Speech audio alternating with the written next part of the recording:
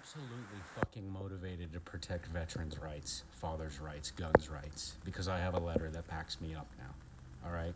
I've worked with my local police department. I'm sick and fucking tired of you burdening them. From outside of this city, by the way. I know the fuckers who are reporting me. It's bullshit. People have better things to do. I'm trying to write a book, and I've been trying to write that motherfucker since 2018. And for you to destroy everything I've ever done since 2018 to date, and it's fucking proven, is bullshit.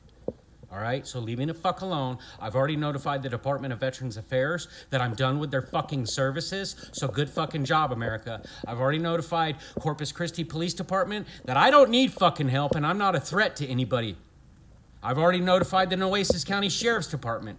And the FBI, trust me, they got better fucking things to do than worry about me, who already served his fucking country, who's 100% fucking disabled, 100% service connected, 100% fucking combat related, and the goddamn 374th Surfman in the United States Coast Guard, who happens to be a fucking chief, who hasn't seen his kids in years, and is really fucking pissed.